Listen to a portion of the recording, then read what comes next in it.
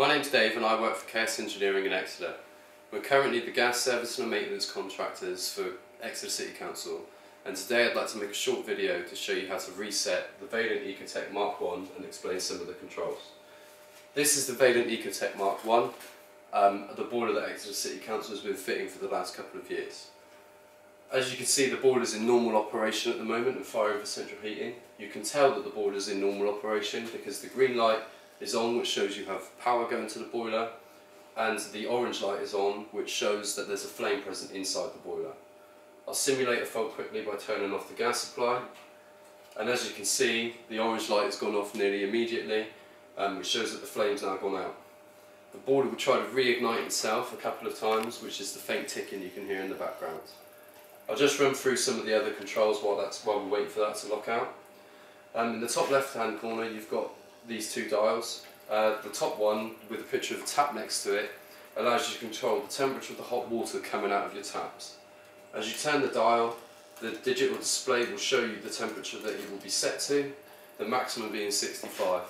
This is a comfort setting so you can turn it up or down to wherever you feel comfortable. The same with the dial underneath, this one controls the temperature of the radiators if you touch them with your hands.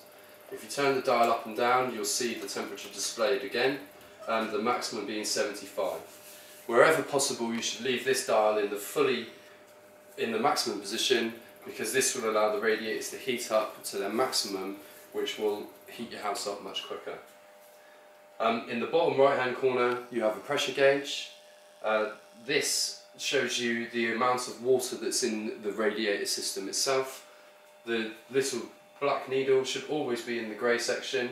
Um, if it goes too low the boiler will stop working and if it goes too high then the boiler will eject some of the water from the system through the safe discharge pipe.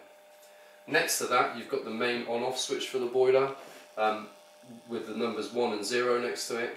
1 shows that the boiler is on and 0 shows that the boiler is off. As you can see the boiler has now gone to lockout. Uh, the boiler in this state is completely safe so the boiler will not try to fire for hot water or central heating um, and it's waiting for somebody to come along and reset it before it will start working again. In the digital display you'll see an F code. Um, the F code will always be a letter F followed by two numbers. If you need to call us out at any time um, it's very helpful if you can take note of that number and quote it to us when you're on the phone. You can now see as well that underneath the display the orange light has gone out and the red light has come on. This red light is indicating that there's a fault with the appliance and that it needs to be reset in order for it to start working again.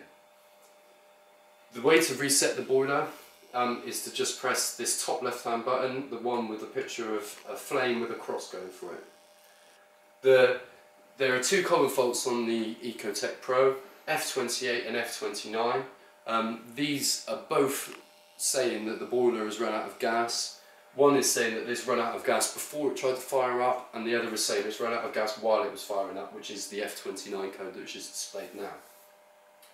If F28 or F29 is displayed on your boiler, we recommend that you go and check your gas meter.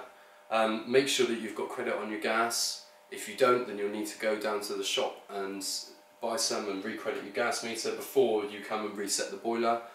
The only other the only other thing that could be wrong is occasionally the new gas meters lock themselves off, in which case on the meter itself in the bottom right hand corner off will be displayed in quite big black letters. Uh, you either need to hold the red A button in on your gas meter until you hear a click and then the meter should say on. Failing that you'll need to ring your gas supplier or Transco and they'll send somebody out to repair the meter for you. Going back to the boiler then, um, in order to reset it, like I said, it's very simple. All you need to do is press the button which is directly underneath the red light, the one with the flame with the cross through it. As soon as you press the button, the red light will go out, the boiler will go to a neutral state, um, and it will start to go through the process of firing up.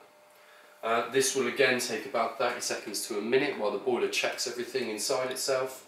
Um, if at this stage the red light comes back on, uh, then you'll need to call Exeter City Council on 01392 265 031.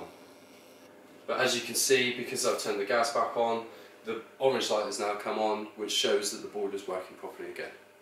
We hope you find this helpful. Thank you very much. Take care.